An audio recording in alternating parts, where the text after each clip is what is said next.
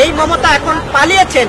কোথাও মমতাকে পাওয়া যাচ্ছে না। ঢুকে দেখি একজন বলছে মমতাজের বাড়ি ঘেরাও করা হয়েছে। কেন? বিদ্যুৎ পাওয়া যাচ্ছে না তাই। বিদ্যুতের এমন অবস্থা শেখ হাসিনা করবে যে আপনারা ওই যে ফেরিওয়ালারা যেমন ঘুরে আর বলে চুরি বলে রাখবেন নাকি ভাই? এরকম বিদ্যুতের অবস্থা আমাদের হবে আমাদের ঘুরতে হবে যে বিদ্যুৎ রাখবেন নাকি বিদ্যুৎ? ফেরিয়ালারা যেমন ঘোরে আর বলে চুরি রাখবেন নাকি ভাই?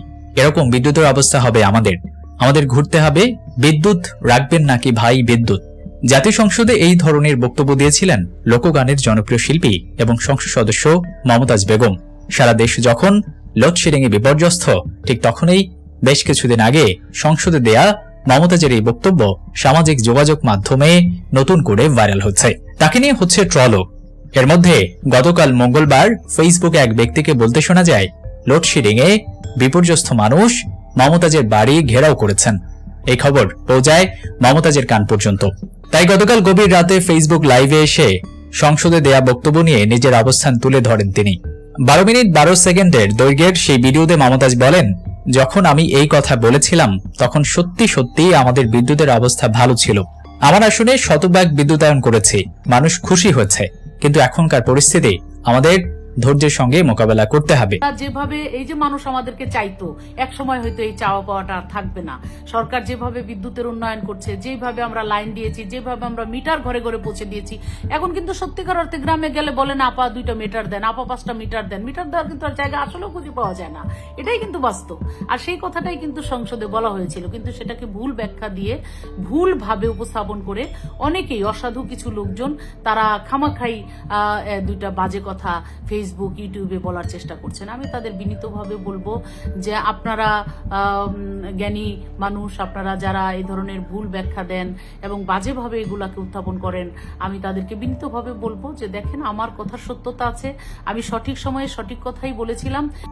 সেই জন্য সবারই ধৈর্য ধারণ করতে হবে, চেষ্টা করতে হবে, সহযোগিতা করতে হবে।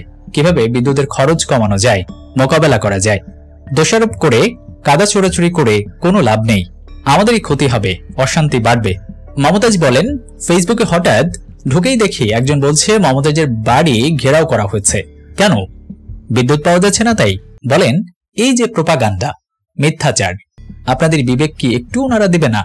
শুধু শুধু একজন মানুষের বিরুদ্ধে এই ধরনের মিথ্যাচার কেন করছি? আপনাদের বিনীতভাবে অনুরোধ করছি এই ধরনের প্রপাগান্ডা থেকে বিরত থাকুন। আম, ফেসবুকে আমি হঠাৎ করে ঢুকে দেখি একজন বলছে, মমতাজের বাড়ি ঘেরাও করা হয়েছে। কেন? বিদ্যুৎ পাওয়া যাচ্ছে না তাই। বলেন, এই যে প্রভাকাণ্ড, এই যে মিথ্যাচার, এগুলো আপনাদের বিবেকে কি একটু ওনারা দিবে না? যে শুধু শুধু একটা মানুষের বিরুদ্ধে এইভাবে মিথ্যাচার আমরা কেন করছি?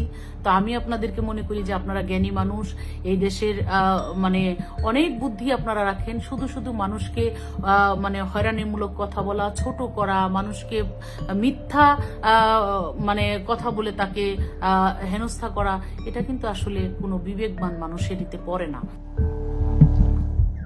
মানিকগঞ্জ দুই আসনের সংসদ সদস্য এবং কণ্ঠশিল্পী মমতাজ বেগম বলেছেন, সত্যিকার অর্থে এখন গ্রামে গেলে কেউ বলে না যে, আপা, দুটা মিটার দেন, পাঁচটা মিটার দেন, বিদ্যুৎ লাইন দেন। মিটার দেওয়ার জায়গা তো খুঁজেই পাওয়া যায় না। এটাই কিন্তু বাস্তব। আর সেই কথাটাই জাতীয় সংসদে আমি বলেছিলাম।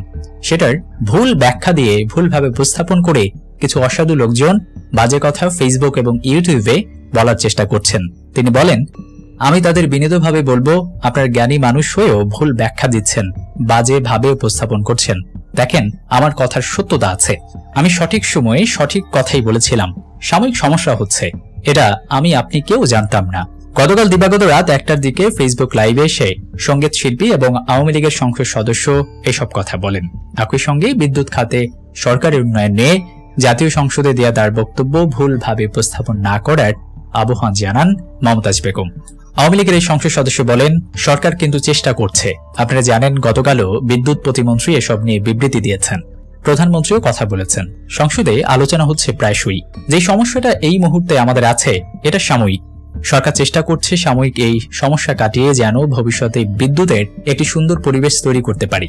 আমি কেন বলেছিলাম সংসদে? আপনারা জানেন। এটা তো মিথ্যে কথা নয় যে বিদ্যুৎ যে হারে সরকার উৎপাদন করেছে, ঘরে ঘরে লাইন দিয়েছে।